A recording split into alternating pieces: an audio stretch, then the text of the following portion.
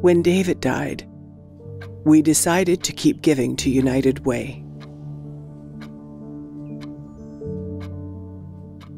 I never thought I would need their help myself.